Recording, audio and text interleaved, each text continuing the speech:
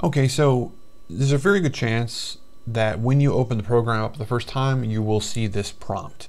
And I just want to take a moment to explain what it is and show you how to fix this. Because if you don't change a setting uh, or create an exception to the rules, basically, then your Mac will probably refuse to let you run OpenBazaar. Now, I want to be very clear this is not because there's anything actually wrong with OpenBazaar. This is, I guess you could call it an overabundance of caution on this part of Apple.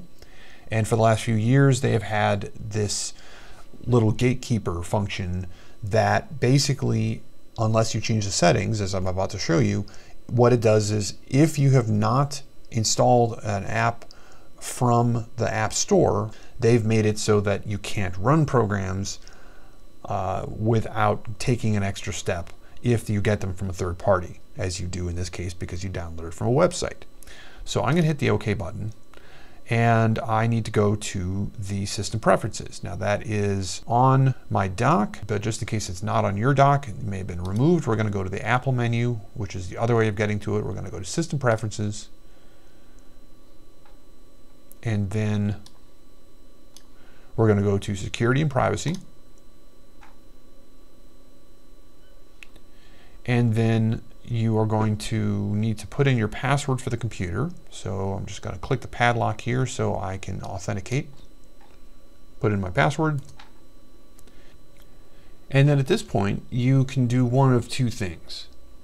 You can click the Open Anyway button over here, and that will basically say that this program specifically is okay and it puts it on sort of a whitelist so that it can be opened without you being bugged all the time. And the other option, which is a little more permanent and that allows you to not be prompted about this every time you might download from a website or a third party of some kind, is to click the Anywhere option. And this is going to pop up another prompt because again, there I guess is liability reasons or whatever. They're just trying to discourage you as much as possible. And you can basically just click allow from anywhere.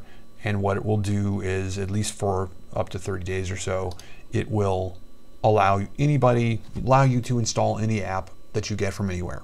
But either of those two options is fine and it will allow you to open the program up. So now that we've done that, I'm going to quit System Preferences and I'm going to go back and open up OpenBazaar again and it should run this time. And uh, we now are in the program.